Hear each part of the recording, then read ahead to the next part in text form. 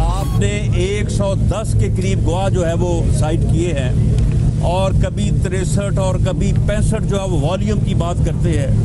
ये कहते हैं कि जी पच्चीस हज़ार पेजेस हैं। ओ भाई, कोई किसी गवाह का एक लफ्ज़ लाओ कि जो इन तमाम वॉल्यूम्स में और ये पच्चीस हज़ार पेजेस में जो है, किसी एक गवाह ने मियाँ शहबाज शरीफ के ख़िलाफ़ कोई एक इल्ज़ाम लगाया हो। कोई उनके अकाउंट में जो ये मनी लॉन्ड्रिंग मनी लॉन्ड्रिंग का वही बेला कर रहे हैं, उनके अकाउंट में कोई एक ट्रांजैक्शन जो है वो ये दिखाएँ।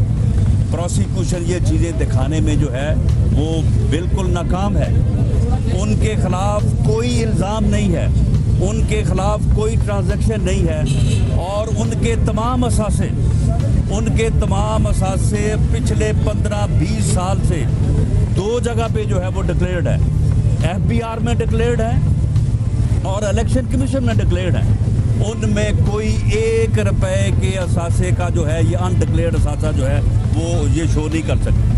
कोई ये इल्ज़ाम नहीं दे सके कि उनका कोई एक रुपए का भी असासा जो है, वो अनडिक्लेयर्ड है। और ये इधर उधर की जो है, वो गुफ्तगु और शहजाद अकबर की जो प्रेस कॉन्फ्रेंस में जो वो गुफ्तु करता है, बेमैनी घटिया उसको जो है वो अमली जामा पहनाने के लिए नैब जो है वो इस वक्त जो है वो एक एक ऐसे एजेंट का किरदार अदा कर रही है जो गवर्नमेंट के हाथों में एक इंतकाम का हथियार है। नैब चेयरमैन की कोई वैल्यू नहीं है। उसके हाथ बंधे हुए हैं। सिर्फ़ उस वक्त खोलते हैं जब अपोजिशन के किसी लीडर के जो है वो वारंट ऑफ़ अरेस्ट के ऊपर जो है वो उन्होंने साइन करवाने होते हैं। ये इंतकाम है ये जुल्म है। पाकिस्तान मुस्लिम लीग नून दीगर अपोजिशन की जमातों से मिल के इस जुल्म का जो है वो मुकाबला करेगी और इन ताला इस जुल्म को जो है वो हम शिकस्त देंगे। जी सी एस सी का जो है इजलास है पार्टी का। क्या फैसले है क्या ये अगले दो दिनों में जो मुस्लिम लीग नून की लीडरशिप है सी सी और सी डब्ल्यू सी उनके अजलास होंगे। और मियाँ शहबाज शरीफ साहब ने आज जो डायरेक्शन दी है, जो अपनी पार्टी को पैगाम दिया है, जिसका मैंने मुख्तर ज़िक्र भी किया है, उसके ऊपर लाहेमल बनाया जाएगा। एक लाहेमल तरतीब दिया जाएगा और उसके मुताबिक इन ताला पी डी एम के प्लेटफॉर्म से जो है वो हम आगे बढ़ेंगे। शरीफ उस देखिए ये ये जो मियाँ नवाज़ शरीफ साहब का जो खताब वाली बात है मियाँ नवाज़ शरीफ साहब हमारे कायद हैं। वो अगर करना चाहेंगे तो उन्हें को रोक नहीं सकता। लेकिन फ़िलहाल इस किस्म की कोई जो है वो इन्फॉर्मेशन अच्छा साहब काफ़ी लंबा प्रोग्राम आपका पॉलिटिकल प्रोग्राम जो है मौजूद है ए पी सी के फैसले भी हो चुके हैं। जहर मुश्किल वक्त है मुस्लिम लीग नून पर इस वक्त। लीड कौन करेगा नहीं ये मुश्किल वक्त जो है ये पाकिस्तान पे है। ये पाकिस्तान के ऊपर मुश्किल वक्त है। ये पाकिस्तान के आवाम के ऊपर मुश्किल वक्त है।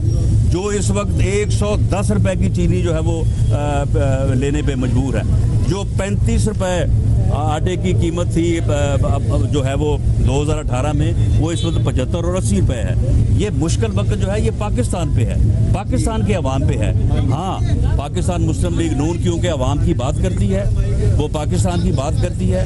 इसलिए उन्हें भी इन मुश्किल का और इस जुल्म का शिकार जो है वो बनाया जा रहा है। लेकिन हम इन ताला इसको फेस करेंगे। फरमाएगा कि तलाल चौधरी साहब के हवाले से जो फैक्ट फाइंडिंग की रिपोर्ट है जिसमें क्या वो तंजीम साजी के लिए वाकई गए थे असल हकाई क्या है? इसके बारे में मैं अलहदा से जो है वो आप बात करूँगा। आप इस मुल्क और कौम से मुतल जो मामला है इसके ऊपर ऐसी इमेजिश ना करें। इसके मुतल